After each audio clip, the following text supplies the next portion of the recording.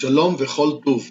אני קורא עכשיו את המאמר של הרב מיכאל, הרב, הרב ירחמיאל יעקב דושינסקי, דודי הגאון, אני הקטן, מיכאל דושינסקי בפראג, בן אחיו, זוכה וקורא לכבודו כל שבוע משהו מן הפרשה ומשהו מן ההפטרה, בשני ספריו הנצחיים והעומדים לעד. כאן הוא מדבר על העץ והכתב.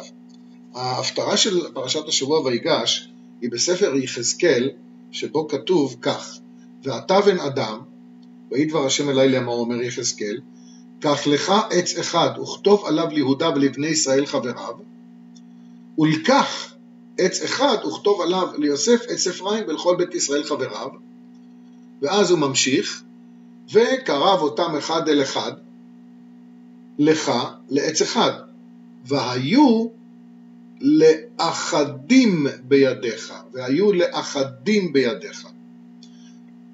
וכאשר יאמרו באליך בני עמך מה אלה לך וכולי, ודבר עליהם, ואחר כך בהמשך הפסוקים, הוא אומר דבר עליהם, כה אמר אדוני אלוהים, הנה אני לוקח את עץ יוסף אשר ביד אפרים ושבטי ישראל חבריו, ונתתי אותם עליו את עץ יהודה ועשיתים לעץ אחד, והיו אחד בידי. לפני כן כתוב, וקרב אותם אחד אל אחד לעץ אחד, והיו לאחדים בידיך, אחדים לשון רבים, אחד כאן ואחד כאן, זה שני אחדים, כמו שכתוב, שפה אחת ודברים אחדים, כל אחד מדבר משהו אחר, לא כתוב שפה אחת ודבר אחד, שפה אחת ודבר אחד בבבל, אלא דברים אחדים, כל אחד דיבר משהו אחר. אז לכן הוא אומר אחדים, לעומת בידי, שהקדוש ברוך הוא אומר, אז זה היו אחד בידי. איך?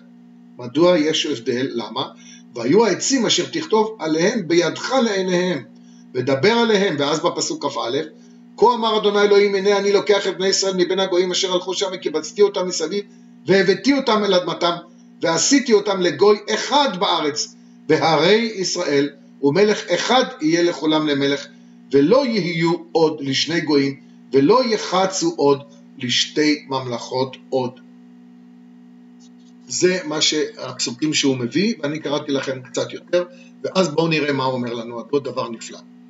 בפעולת הנביא אשר לקח את שני העצים וקרבם אחד אל אחד, עד שהיו לאחדים בידו, יש משום רמז לסמל ההבטחה, לקיבוץ גלויות, לשיבת ציון של כל הבנים, הן מבני יהודה והן מבני יוסף. אנחנו עדים לכך היום, שגם מעשרת השבטים מגיעים. אמנם במה ששבו לגבולם עדיין לא חדל הפילוג ביניהם, עדיין לאחדים, הם יחידות נפרדות המוחזקות יחד בידו האחת של הנביא, אבל הן יחידות נפרדות. רק כאשר הנביא כותב עליהם כדבר השם, מה זה? הכתב, העץ והכתב, שימו לב לכותרת.